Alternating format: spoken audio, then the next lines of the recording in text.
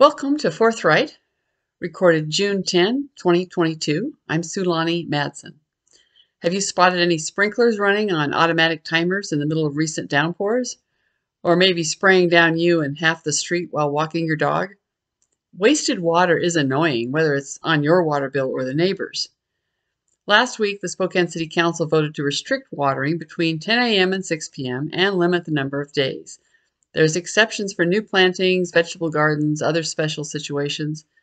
Naturally, when there are so many exceptions, many people will declare themselves exceptional and use the exceptions to skirt the rule. Or they'll take note of the no watering hours limited to two days per week and water twice as long on the days watering is allowed, or run more sprinklers at one time, or any other number of ways of getting around the system. Real conservation efforts require education not on arbitrary rules, but on ecological principles. And one of those principles is knowing how much water there really is and, and being honest with ourselves about the quality and the abundance of the Spokane Valley Rathdrum aquifer. So here's a reading of my column published on June 2nd, 2022 in the Spokesman Review, headlined, Don't Need Scary Headlines to Promote Conservation. There are many good reasons to conserve water on your lawn this summer. Worries about a shrinking snowpack aren't on the list. Despite alarming front page headlines, Washington's watersheds have had higher than average snowpack in 14 of the last 17 years, including this year. That's why the baseline for measuring normal was increased by about 3% for the decade starting in 2021. Without the new baseline, today's reported percentages would be even higher. As of Wednesday, the Natural Resource Conservation Service snow water equivalent measurements for Washington watersheds range from a low of 146% of normal in the North Puget Sound to 1,850% in the lower Yakima Basin. The Spokane watershed is at 180%, and Upper Columbia and Oreille are both above 197%. This year's Snowmageddon is courtesy of back-to-back La Nina patterns, a contributing factor to the trend of increasing snowpack in the Pacific Northwest.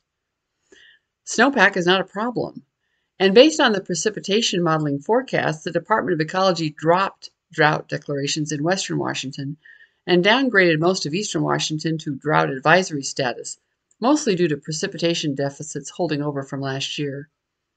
The drought emergency declaration remains for only five watersheds where predictions fall below a statutory drought threshold of 75% of normal. The Department of Health reported the impact will be primarily on shallow groundwater wells in the mid Columbia region, not on municipal water supplies, and not on Spokane. So, why conserve water in the city if there's not a drought emergency? Good stewardship of natural resources is always a wise decision, and cities are notorious disruptors of natural systems. Hard surfaces in urban areas interrupt the water cycle, which relies on surface capture, biofiltering, and slow release. Tearing out lawns in favor of xeriscaping with rock or mulch adds to the urban heat island effect and removes natural filters from the system. Maintaining lawns, rain gardens, and grassy swales are key to a healthy water cycle, and sometimes they need watering. The rules limiting watering hours passed by the Spokane City Council technically went into effect Wednesday, but stricter rules wouldn't go into effect until next year, with the focus this summer on education. Not watering during the hottest part of the day or in high wind sounds like good topics for education, but conserving water takes more than just turning off the tap according to a citywide schedule. The focus should be how landscape management is affecting the water cycle overall and how do we best tailor watering schedules for specific locations.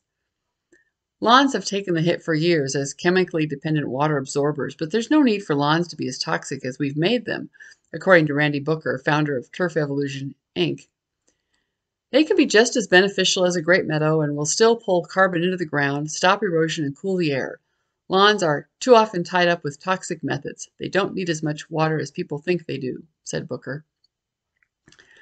Spokane has a great diversity of soil types, making one-size-fits-all watering recommendations frustrating for city residents. Booker has been a golf course manager and turf consultant for years and knows the challenges of maintaining green lawns on sandy soils. His work is one of the case studies in the upcoming 2022 documentary Kiss the Ground, and his focus is on bringing a regenerative agriculture framework to basic turf management. Most discussion of water conservation focuses on quantity and timing. More important is the absorption and holding capacity of the soil combined with the right turf species.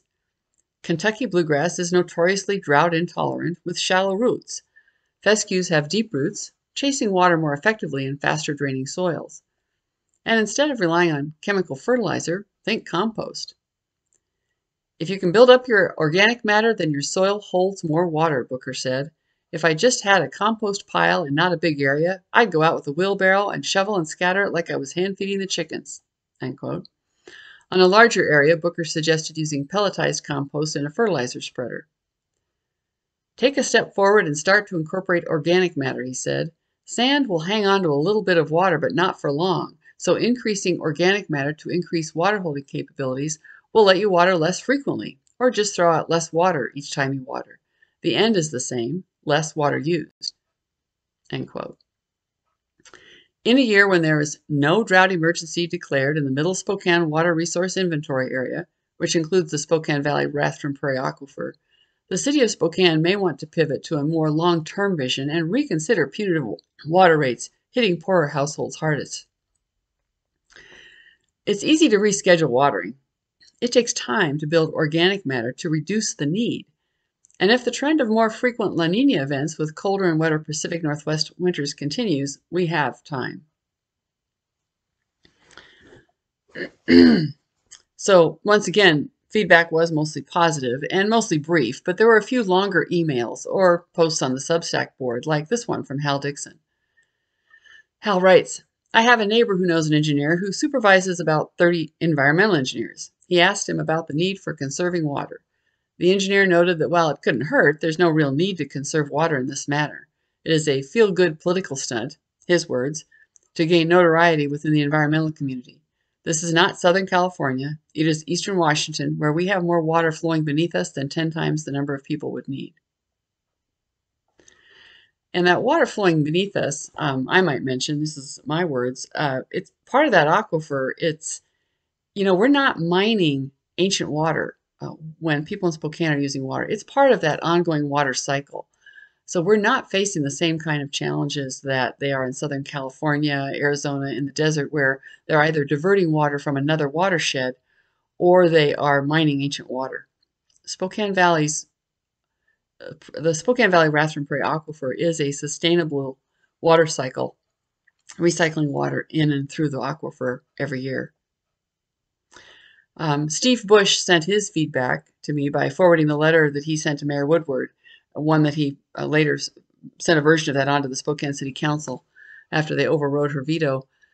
Um, Steve has been a Spokane area resident for over 40 years. He researches, writes, and comments on environmental issues from a pro property rights perspective, but his early years involved uh, a lot of involvement with the radical environmental movement. And he has an educational background in natural resource management and, and work ex experience with the U.S. Forest Service. So those all give Steve a unique perspective on environmental topics. Steve's blog can be found at oldmanoftheski.com. A copy of Steve's letter is published on Substack for subscribers uh, on my Substack. For those of you who prefer an audio format, I'm going to read you the letter to Mayor Woodward, forming support for her video of the water ordinances and read it in its entirety. Uh, Dear Mayor Woodward, thank you for your refusal to allow the City Council to initiate an unnecessary and highly restrictive water ordinance on the city's citizens of Spokane. Please consider the following.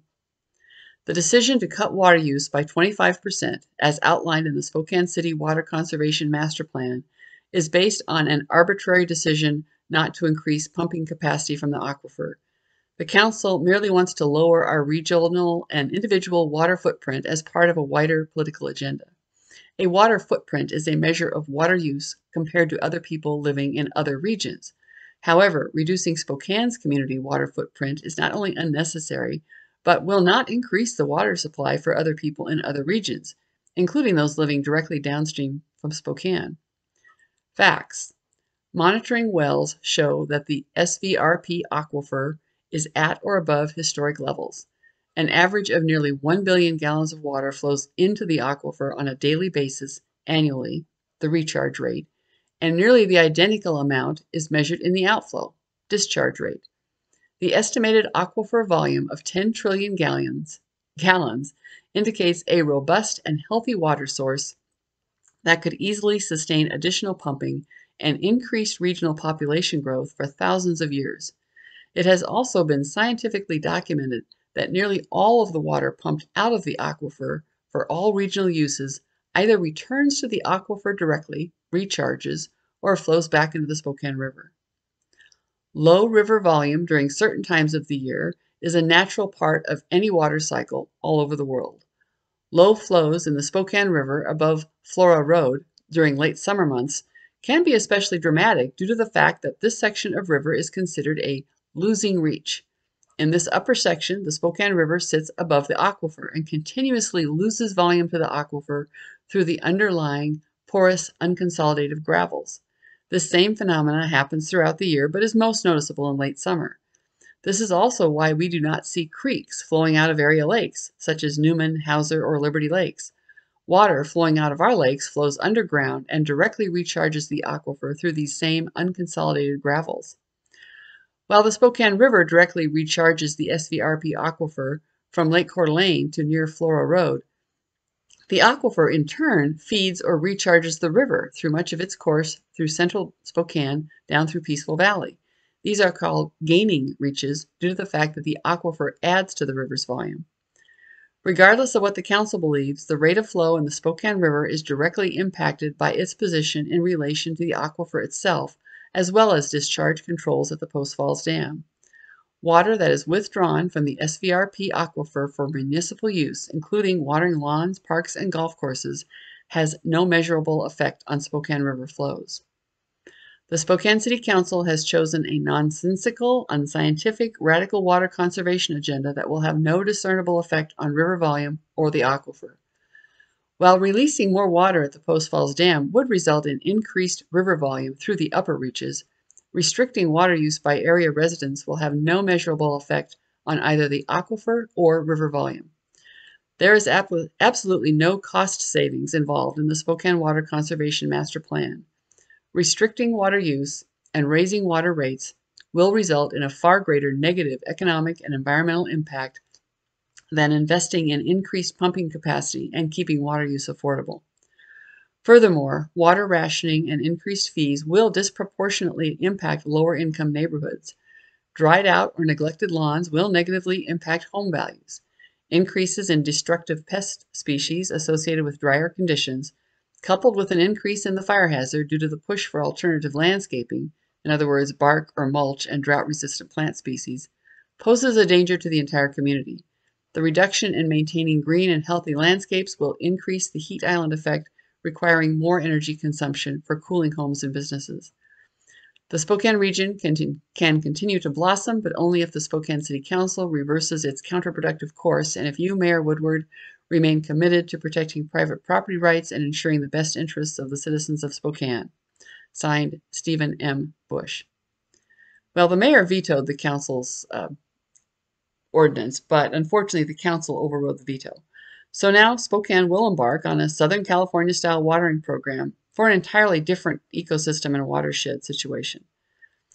With apologies to all the lovely Karens I know, encouraging an atmosphere of Karenism to enforce rules unsuited to the Spokane watershed will not advance the cause of good stewardship of natural resources, including water. You can subscribe to these posts on Substack at sulanimadsen.substack.com.